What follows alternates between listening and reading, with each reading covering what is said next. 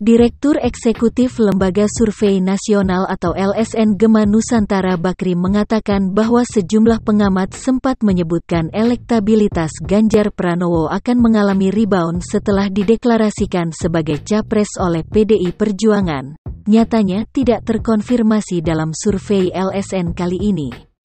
Walaupun orang Indonesia dikenal sebagai bangsa pelupa, dia menilai publik kelihatannya sulit untuk memaafkan kesalahan Ganjar yang membuat Piala Dunia U20 batal digelar di Indonesia. Menurut dia, publik telanjur kecewa, marah, dan sakit hati kepada Ganjar sehingga apa pun upaya Gubernur Jawa Tengah itu untuk merebut kembali dukungan publik kelihatannya akan tidak mudah. Selain berdampak pada terbenamnya elektabilitas Ganjar Pranowo, lanjut Gemah, batalnya Piala Dunia U20 juga berpengaruh pada elektabilitas PDI Perjuangan. Berdasarkan hasil survei LSN, jika pemilu dilaksanakan saat ini, hanya 17,6 persen responden mengaku akan memilih PDI Perjuangan. Dengan demikian, tingkat dukungan terhadap PDI Perjuangan merosot sekitar 5 persen dari survei LSN sebelumnya.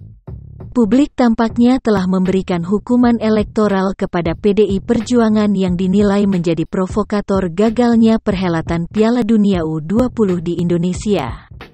Sementara itu, posisi Prabowo Subianto terus menguat terlepas dari kekecewaan publik terhadap Ganjar Pranowo.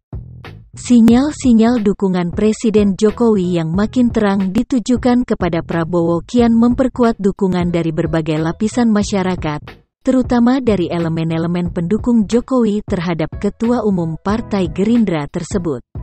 Prabowo dipersepsikan publik sebagai sosok negarawan yang paling layak menggantikan Presiden Jokowi. Ketika LSN menanyakan kepada responden, siapakah yang paling layak menjadi pengganti Presiden Jokowi, nama Prabowo paling banyak muncul dari top of mind publik.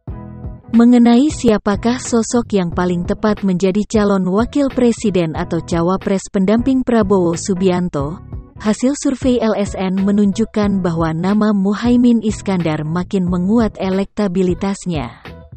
Jika dalam survei-survei sebelumnya tingkat keterpilihan Muhaimin sebagai cawapres masih di bawah satu persen, Kini sebanyak 9,4 persen publik menyebut Ketua Umum PKB tersebut layak menjadi cawapres pendamping Prabowo.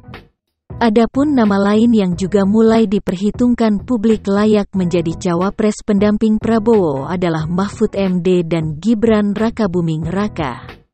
Sebanyak 10,2 persen responden menilai Mahfud MD cocok menjadi cawapres pendamping Prabowo, sedangkan Gibran dipilih oleh 9,8 persen responden. Mengenai elektabilitas partai politik selain ditandai menurunnya tingkat keterpilihan PDI Perjuangan dalam survei LSN kali ini juga ditemukan fakta bahwa posisi Partai Gerindra makin kuat sebagai partai papan atas. Fenomena lain yang juga menarik dari temuan survei LSN kali ini adalah makin moncernya elektabilitas Partai Perindo yang saat ini masih sebagai partai non-parlemen.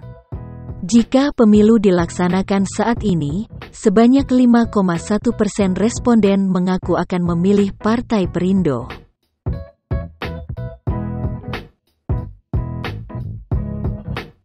Jangan lupa, subscribe YouTube JMN Channel, dan kunjungi laman portal jabarnews.com.